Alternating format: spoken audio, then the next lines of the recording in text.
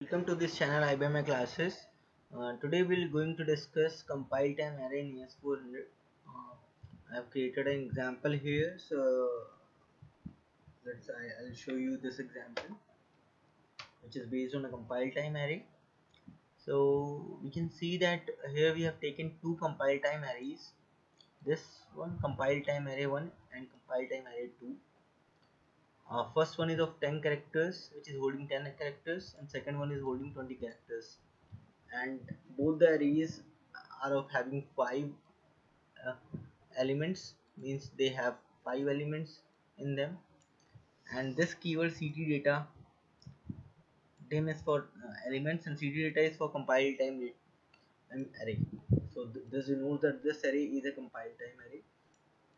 So compile time array will be loaded before the execution of this program. So once we compile this program these compile times array will be preloaded and which will hold the static data which you provide in this program.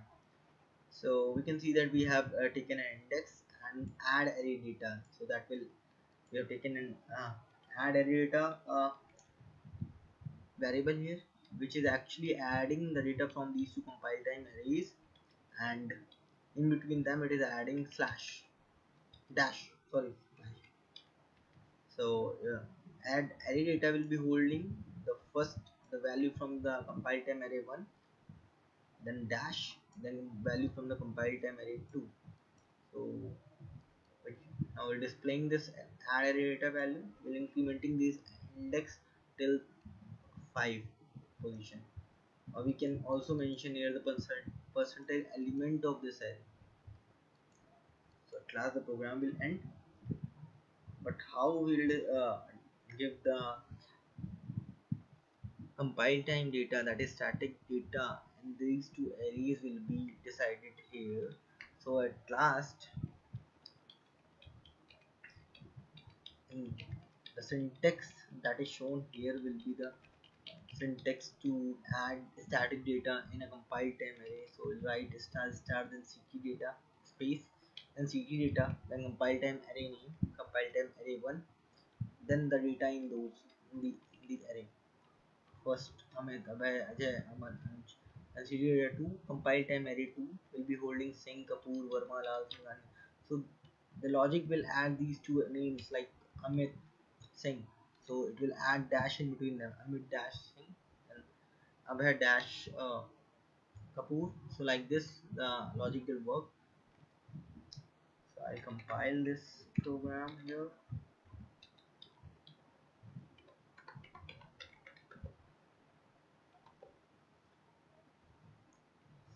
Compile this program.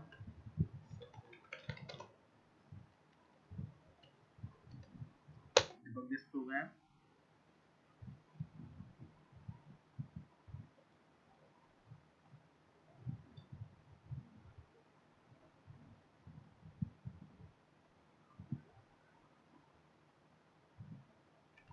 add a breakpoint at position line 1 then call this program call array cmpl now we can see the function of this program. Now index is 1 1 is less than equal to 5 so it will come here. So we can see that compile time array is already loaded with Amit and with Singh. So it will made add array data as Amit dash Singh as told earlier. This will display the same and the index will get incremented. So on second position the Abhay is and then here the Kapoor is so it will make it Abhay Kapoor and then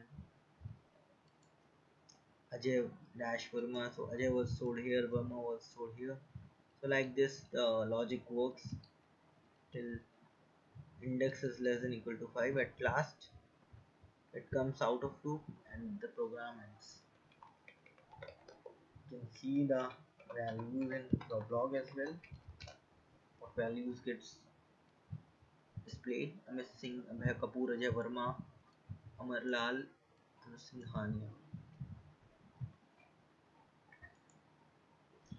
so this is the basic example that shows that how to how the compile time arrays work in RPG and how they should be how they should be declared like this and how the static data will be provided to these arrays which is loaded before the execution of this program. So this is all about uh, compile time array in rpgs format. Thank you uh, for watching this video